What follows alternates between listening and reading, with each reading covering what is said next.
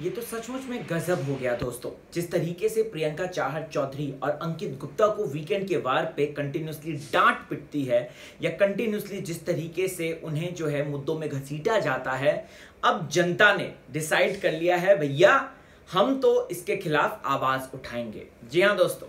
नमस्कार, स्वागत है आपका चैनल टैली खजाना में। मैं हूँ आपका यारों का यार होस्ट राहुल बोध। चैनल को फटाफट सब्सक्राइब कर लें। अगर आप लोगों ने मुझे इंस्टाग्राम पर अभी तक फॉलो नहीं किया है लिंक डिस्क्रिप्शन में है।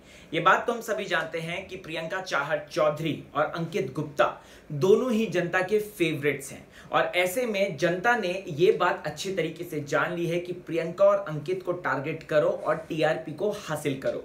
दोस्तों, आपको बता दूँ तो कल के बिग बॉस के एपिसोड में, यानी कि वीकेंड के वार में, हमने देखा कि भाईजान सलमान खान ने जो है, उस मुद्दे को उठाया जो कि बिग बॉस ने ऑलरेडी उठाया था। बिग बॉस ने राशन टास्क ना करके निमृत और शिव को कहीं ना कहीं एक बेहतरीन राशन दे दिया दोस्तों।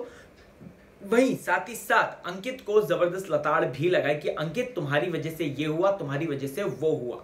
और ऐसे में उसके बाद क्या? उसके बाद जनता भड़क पड़ी और कल से लेकर आज तक सोशल मीडिया पे बैक टू बैक हैशटैग चल रहे हैं। चाहे वो अंकित के नाम के हो, चाहे वो प्रियंका के नाम के हो, चाहे इन दोनों के नाम के हो, प्रियंकित के नाम के हो। जी हाँ जनता अडोर्स प्रियंकित इस तरीके का एक हैशटैग चल रहा है you guys won't believe that कि इसमें एक लाख से ज़्यादा लोगों ने बहुत कम समय में पार्टिसिपेट किया है। लोग इस हैशटैग को बढ़ा चढ़ा के प्रस्तुत कर रहे हैं। लोग इस हैशटैग में प्रियंका अंकित की फ़ोटोज़ दर्ज कर रहे हैं, उनके बारे में बात कर रहे हैं, और प्लस उनके साथ किस तरीके की नाइंसाफी चल रही है बिग बॉस के घर में, इसके बारे में भी बात कर रहे हैं। वैसे आपको बता दो दोस्तों तो सलमान साहब ने कल के दिन अंकित को सुस्त और ये सारी बातें तो कही, लेकिन मुझे समझ में नहीं आता कि उन्होंने अप्रिशिएट क्यों नहीं करा, जिस तरीके से उन्होंने साजिद की तरफ़ अपनी दोस्ती का कर्ज अदा किया, नमक का कर्ज कह सकते हैं अदा किया, या फिर अगर बात की जाए तो शिव को एक नॉमिनेशन का बहुत अच्छा देकर कि भाई आप किसको नॉमिनेट करना चाहते हो, वो बात। या फिर अगर देख लीजिए कि उनके संचालन की अगर बात की जाए तो जहाँ पे हम सबको बताया कि बिग बॉस का संचालन फेयर नहीं होता है, वहीं खेल के परस्पेक्टिव पे यहाँ पर दोस्तों बिग बॉस के संचालन को नहीं बोला गया।